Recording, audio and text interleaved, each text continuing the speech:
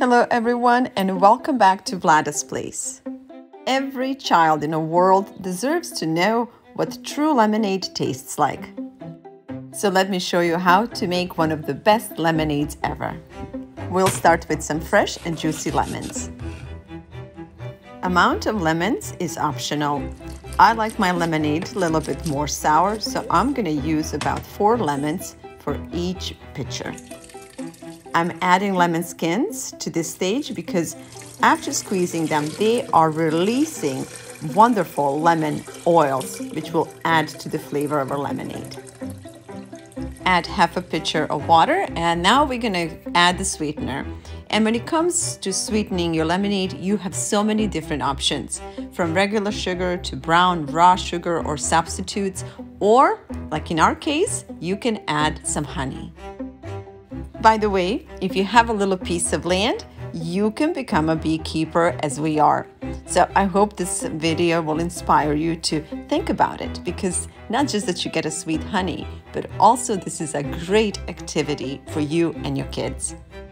By the way, we are learning too. This is our first year of beekeeping and we are sharing our experiences on this channel. So if you're interested, check out some of the videos we posted this far.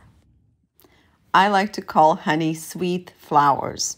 So we'll go ahead and add half a cup to each pitcher of this sweet, fragrant, flowery flavor.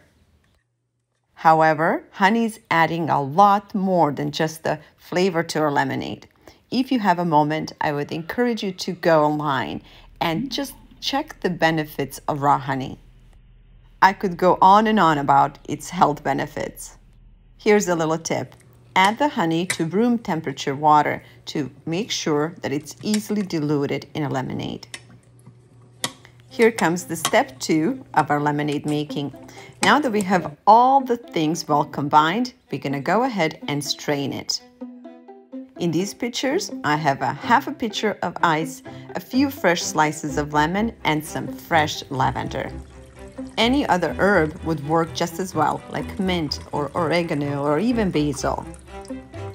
Our kids consume way too many sweet drinks and sodas. This is a healthy alternative.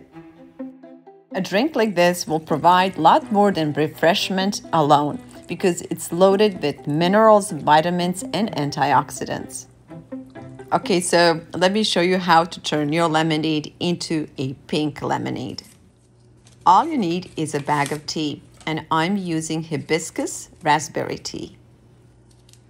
Just set the tea in a lemonade and then watch the magic unfold. And now comes the moment to make a pause in life. Get your kids around you and take time to savor this moment.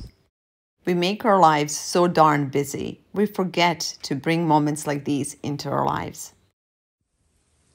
But reality is, we do have time, and we must find time for moments like these. There's no better way to reconnect with your family than over a sweaty pitcher of a freshly made lemonade. My name is Vlada Vladic, and I am a founder of a charitable organization called Vlada Seeds of Life, whose mission is reconnecting families and communities in America and beyond. I am also a producer of a television program called Cooking and Kids, currently airing on over 300 public access TV stations in US. You can find out more about my charity and our work at vladav.com. We raise our kids only once, and while we all know life is hard, it is important to teach our kids that life is also very sweet. Thank you so much for watching. We like to keep it simple and real on this channel. So if you like what we're doing, please subscribe and give us thumbs up so we can share these videos with other families.